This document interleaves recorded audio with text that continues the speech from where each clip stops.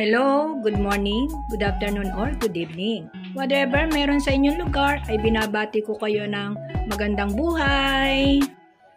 For today's video ay magluluto tayo ng pusit. Yan. Medyo may kamahalan ng pusit uh, sa ngayon. Uh, nasa 450 to 480 ang kilo. Pero, gagawa tayo ng paraan guys. Mag-extender tayo. So, maglalagay tayo ng eggplant or talong. So, para makadagdag sa ating mga misis na wise, yan, dadagdagan natin siya ng eggplant. So, yan ang simpleng uh, mga ingredients para sa ating lulutuin sa ating uh, adobong pusit. Meron tayo ritong oyster sauce, meron tayong bawang, sibuyas. Dinagdagan natin ng sibuyas mga kamamsis ka-farmers. Dalawang sibuyas yan, large. And meron tayong pinong paminta. And meron tayong uh, toyo at suka. And ito ang ating talong as extender. And of course, ay gagamit tayo rito ng cooking oil. So, let, or let's get cooking. Open the stove. Yan. At painitin natin ang ating wok. Let's put some oil.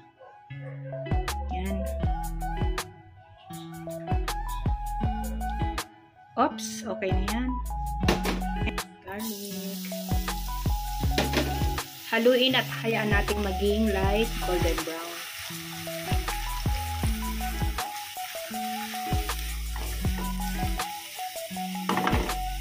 Mm, ayan, ang bango na niya at light golden brown na. And add natin ng onions.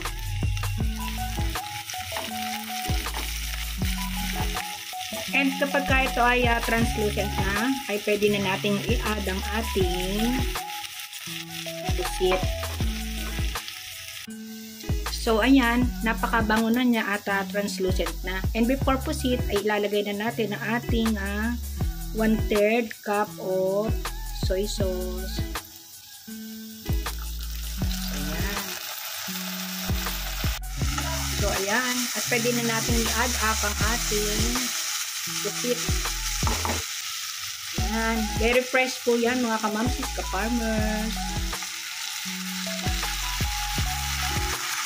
Hindi ko na hinati-hati sapagkat mamaya ay maliit na iyan. And then haluin lang natin. Okay na.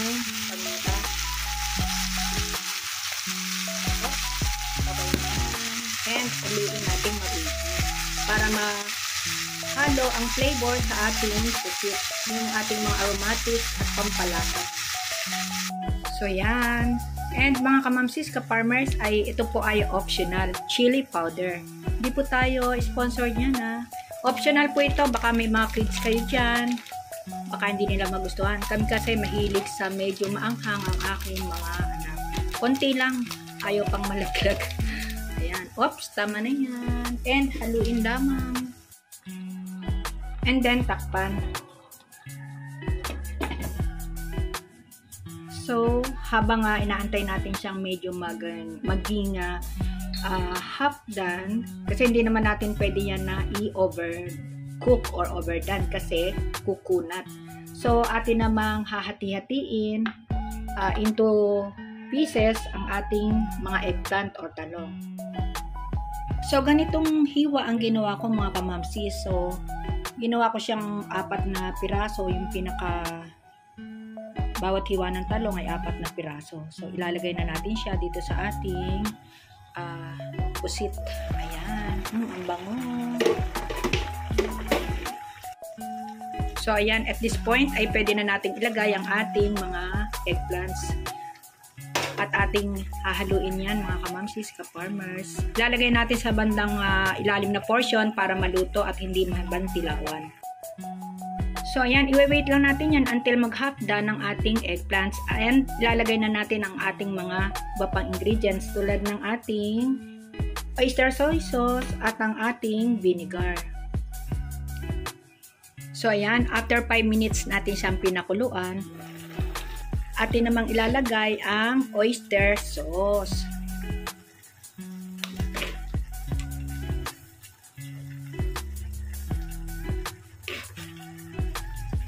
So, yan. Uh, maybe maglalagay tayo ng mga 5 tablespoon.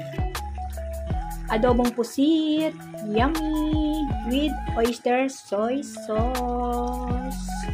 Yummy.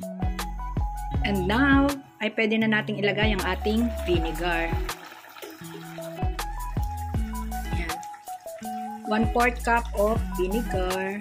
Sa gitna ko inilalagay sapagkat sa gitna ay mas mabilis ang kulo para madaling maluto ang ating suka. So yan, antay lang tayo ng 3 minutes at pwede na natin yang haluin at i-plating.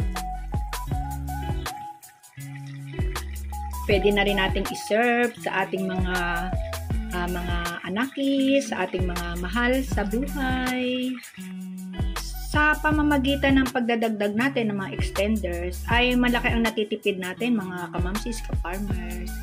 Eka nga ay, yan, economical. Matuto rin tayong maging wais. Yan. So, yung talong naman ay napakaraming benefits para sa ating health, sa ating body. So, antioxidant and marami pang iba. So, yan. I love veggies. So, ayan, after few minutes, ay pwede na natin yang hanguin. Pero before that, syempre, titikman muna ni Kamam si Edith. Hinaan na natin ang ating apoy. Natin. And akin munang titikman. With my golden spoon. Ayan. Tawa pa ako, no? Ang aking golden spoon, nabigay lamang naman. Okay? And, hipan natin, mainit. Mm.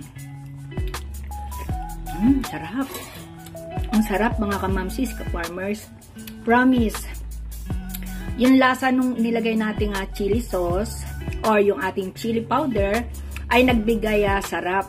Pero doon sa mga hindi mahihilig sa maanghang, huwag niyo pong dadagdagan or pwedeng hindi niyo na lagyan. Sabi ko nga ay optional. So, yung ating uh, inilagay na oyster sauce at yung ating uh, dagdag na mga ibang pang-aroma, aromatics, ay nandiyan dyan po. Buong-buong lasa dyan, malala, malalasap niyo po ang sarap. So, ano pang hinahantay nyo? Uh, magluto na rin po kayo ng ganito at malaki ang matitipid nyo sapagkat uh, kita nyo kanina konti lang yan ay dumami. Sabi ko nga ay extender. So now, ay uh, totally i-off na natin ang ating uh, gas stove. Yan. At atin namang i-plating. It's time for plating. Yan, si Jinky ang nag uh, sasandok habang hawak ko ang aking uh, microwavable na uh, food bowl. And, yan. Tingnan nyo po, oh. The goodness. Di ba po? Ang kagandahan ho niyan, hindi ho makunat ang ating pusit. Ah, wait ah, medyo mainit. Lalagyan natin ng sapin mga kamamsis. Naiinitan ako. So, naglagay lang po tayo ng uh, sapin sa ilalim sapagkat uh, medyo may kainitan. So, yan ang ating uh, naluto ng pusit. Oops! Muntik ng mataob. Ayan. Napakasarap mga kamamsis, ka-farmers. So, gayahin nyo na po ito.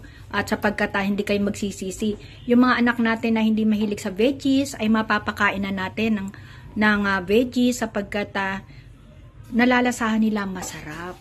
Yan. Okay.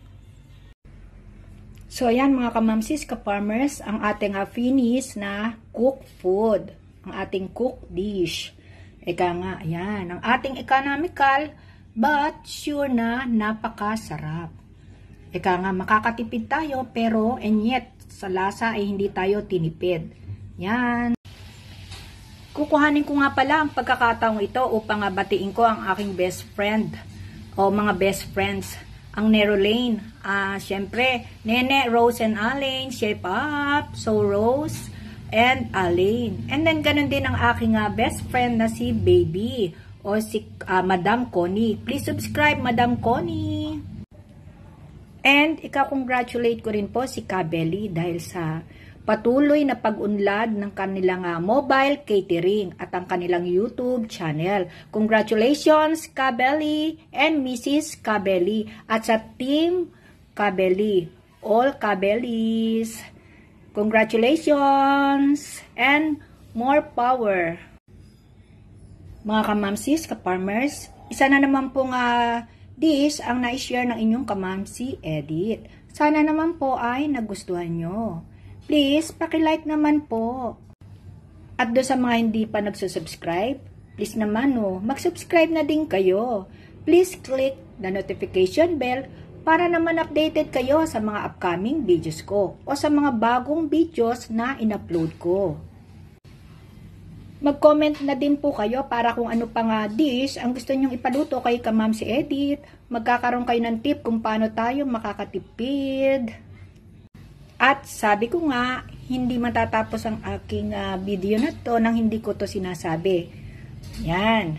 At ang palaging sinasabi ni Kamam si Edith ay, Be courageous, be happy, and be natural. God bless everyone!